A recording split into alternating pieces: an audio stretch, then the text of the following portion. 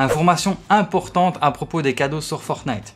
Depuis la mise à jour d'aujourd'hui, Fortnite a décidé de supprimer la possibilité d'offrir le reste d'un pack de skins à un autre joueur. Parce qu'en réalité, il y avait un glitch, donc je ne sais pas si vous étiez au courant, mais il y avait un glitch qui permettait de débloquer la pioche FNCS gratuitement en se faisant rembourser les trois quarts du pack.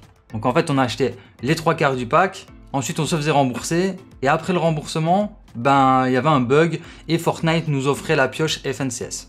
Donc là, actuellement, ils ont désactivé l'option où on pouvait offrir le reste d'un pack. Donc si par exemple quelqu'un achetait un skin, mais il n'avait pas tout le pack, ben, on pouvait lui offrir le reste du pack avec une réduction de V-Bucks en fonction de ce que le joueur avait déjà acheté.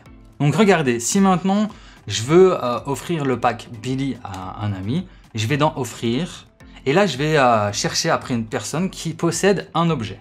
Voilà, par exemple ici, il y a une personne qui possède justement l'objet, enfin il, a acheté le skin parce qu'on le voit en image de profil, mais euh, voilà, cette personne elle a acheté le, skin. Si maintenant je voudrais lui offrir le reste du pack, ben maintenant je ne peux plus parce qu'il y a un problème. Ils disent s'il y a un problème, elle ne peut pas recevoir de cadeau actuellement.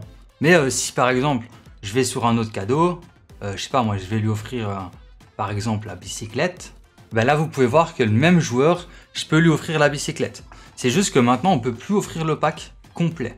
Alors est-ce que ce problème va rester en illimité? Est-ce que c'est une décision officielle et illimitée que Fortnite va laisser? Ça j'en sais rien. J'espère quand même qu'ils vont pas le faire parce que moi j'offre justement des packs de skins à ma communauté de temps en temps et en fait cette option me permet de leur offrir des packs de skins à hauteur de ce que l'abonné a gagné en V-Bucks en participant par exemple à mes événements sur mes maps créatifs.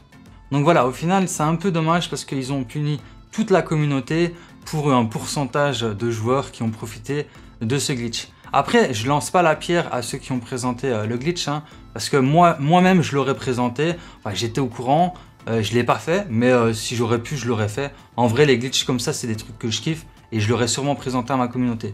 Mais cette fois-ci, je sais pas pourquoi, mais j'avais pas envie de le présenter. Je trouvais que, je sais pas, ça, c'était pas cool, donc je l'ai pas présenté cette fois-ci.